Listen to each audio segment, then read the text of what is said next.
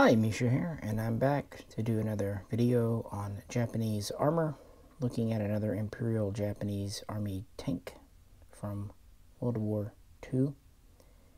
We already talked about the Type 95, which was a light tank and the most produced tank that Japan had, with about 2,300 built. Now we're going to talk about the Type 97 Chiha which was a medium tank and the second most produced, if you count both variants here, around 2100. In the front, we have the original. They built about uh, 1,160. And behind it, we have the uh, Kai version, the improved version, with the different better gun. And they would build about 930 of those during the war. This model is from Dragon, and this model is quite interesting. It's from Precise or Precision, a company probably no one's heard of because these models were never really sold. I'll explain more about that when we get to it. But first, let's check out the original Chiha Japanese Type 97 light tank, or excuse me, medium tank. Good times. Alright, on to the spinny thing. The Type 95 light tank was partially there to replace the older Type 89, but mostly there for the cavalry and to replace their Type 92 armored car, quote unquote. The infantry accepted the 95 because it was better than what they had, but what they really needed was a true replacement for the Type 89, specifically the Type 89B. So, really, right after the Type 95 was solidified, they started working in 1935 1936 on a new design, primarily at Mitsubishi. And the first prototype would be built in 1936, and it was essentially a scaled up Type 95. It used the bell crank suspension system, but went from four to six road wheels. They went to a thicker, heavier armor. They uprated the engine, still a diesel, to keep a reasonable top speed. It went from a three man to a four man crew with two in the turret. And it used the same 57 millimeter, relatively low velocity main gun as the Type 89. Initially, they wanted to use a new higher velocity gun, which was uh, going to be the 47 millimeter, but um, it wasn't ready yet, so kind of had to wait. They did make a few minor improvements to the Type 89's 57 millimeter gun, calling it the Type 97 tank gun. And like the Type 95, this was designed primarily to support Japanese infantry and fight enemy infantry. It wasn't really designed as a tank killer. And at first, it wasn't even sure if the Mitsubishi design would succeed. Another company, Osaka, offered another Type 97 that was a little bit lighter and cheaper. And for a time, they debated which one to go with. But in July of 1937, with the Second Sino Japanese War officially fully underway, invasion of Manchuria and all that happening, the the military was given, the army was given the budget, so they went with the better Mitsubishi design, putting it in production by 1938. And whereas they only built 31 Type 95s in its first year, they actually built 110 Type 97s. And there would be two principal factories building these with a couple of secondary factories and, of course, plenty of uh, subcontractors. So, uh, yeah, what do we have here? So, what do we have here? Well, like I said, it has a 57 millimeter main gun, still relatively low velocity, still a relatively light gun. It's in a standard turret. Interestingly, it's a little bit in a swiveling, swiveling or movable mount where the gunner can again use his shoulder to either stabilize it or make minor corrections to fire it. It's relatively light. At least now we have the commander gunner, and now he's joined by a loader that can also operate the Type 97 machine gun in the back, 7.7 millimeter, and we have a second Type 97 in the front next to the driver has its own crewman to uh, to do that. This is a much heavier tank. It's about 14 and a half tons. And it has armor ranging from 8 millimeters at the thinnest up to 25 millimeters, so about an inch at its thickest. So about twice the armor of the 95. This version here does have an antenna around the turret for a radio. While that wasn't a standard feature for the Type 97, it was a much more common feature than on the 95. It had a max top speed of just under 40 kilometers per hour, about 38, 39, so a little slower than the Type 95. But the whole idea behind this, the whole, well, one of the problems with the Type 89 is it was too slow to keep up with modern vehicles, so it had to have a reasonable top speed. Since it does use the bell crank suspension like the 95, the ride is a um, little on the rough side.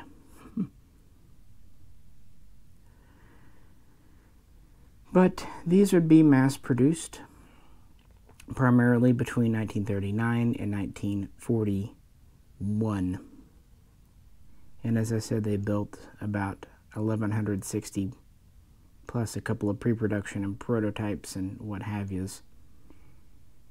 But then it would be replaced by the uh, the other model we have here, the Type 97 Kai. The difference between the original Type 97 and the Type 97 Kai is the turret and the main gun, at least primarily. Now this model is from Precise and it's a really interesting story. First off, I will say this one was not pre-assembled. I've been putting it together. There are still some antenna and things I need to have a friend help me glue on. So if it looks like it's missing some parts, yeah.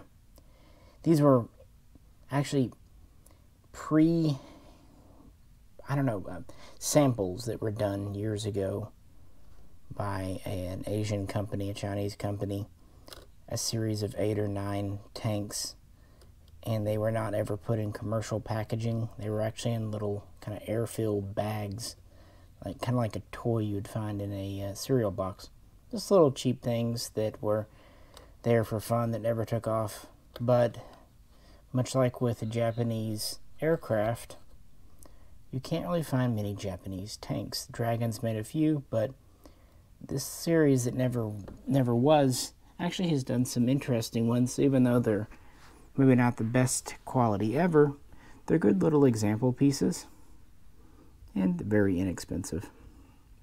Anywho, the genesis of the Kai dates back to 1939 when the first four Type 97s were sent to fight the Russians at Khalkhin Now, I will say that some of the earliest production models were sent to China in 1938, and they did well because uh, well, they weren't fighting armor. In 1939, they got to tangle with the Russian tanks. In fact, one of the Type 97s with the 57 millimeter gun was selected to be the commander's tank there. And not only was it destroyed, it actually caught fire, blew up, and killed all but one of the crew.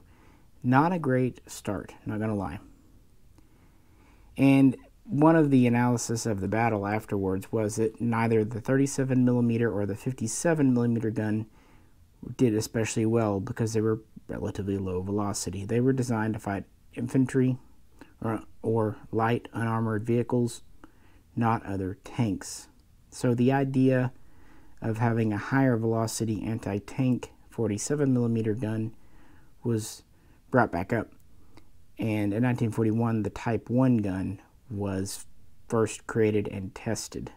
In the interim, Type 97 production with the 57mm gun was underway, and these were used first in relatively small numbers against the British mainly in Malaya and Singapore.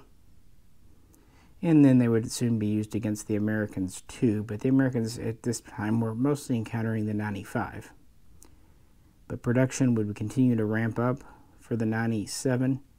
And one thing that was kind of neat about it, even though it was a medium tank, it was still pretty light, and therefore it was actually able to traverse swampy, jungly, nasty, muddy, mucky terrain that the British had just automatically assumed was not passable by any kind of heavy armor.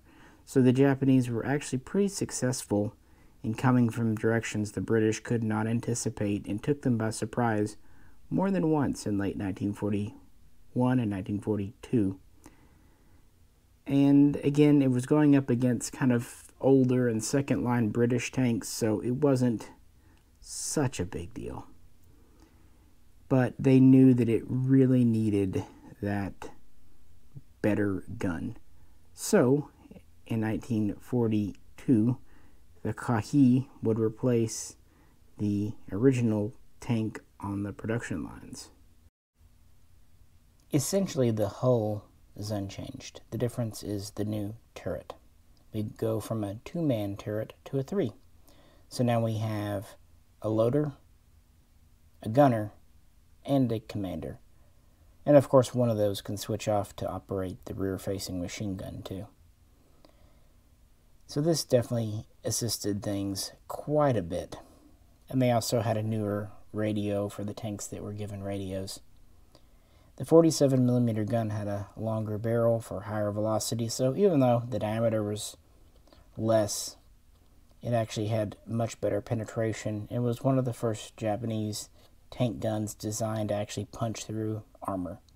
Of course, it was designed to punch through Russian tank armor from the 1930s and wouldn't be all that competitive with American armor on the Sherman for very long, but that's neither here nor there. 1942 would be the highest production year for the Type 97.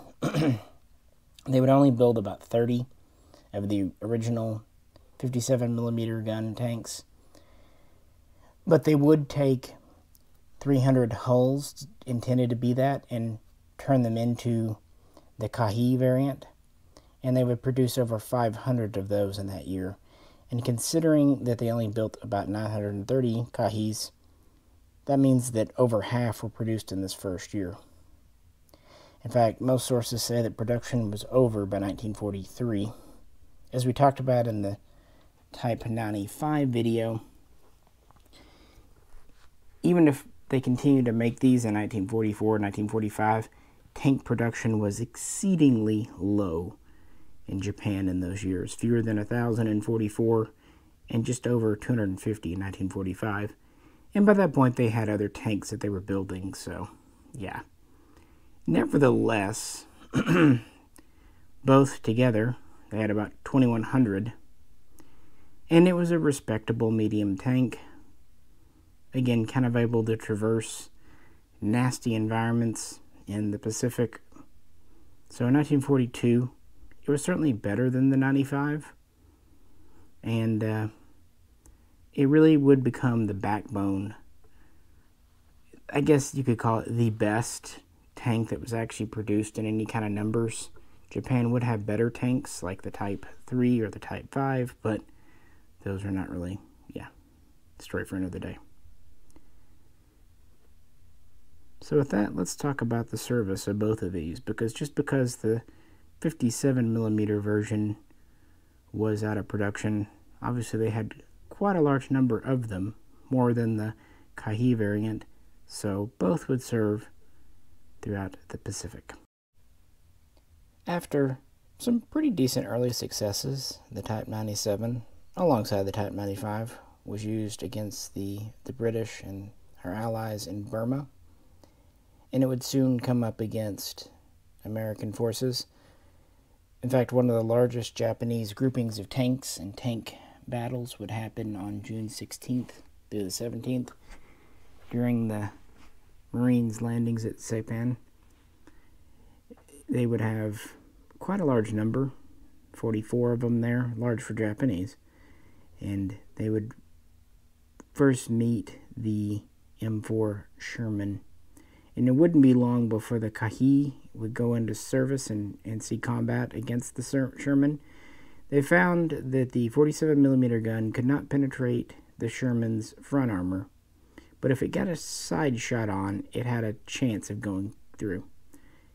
At least good news for the Japanese, it was able to take on and be generally superior to the M3 Stuart, the Type 95's old rival.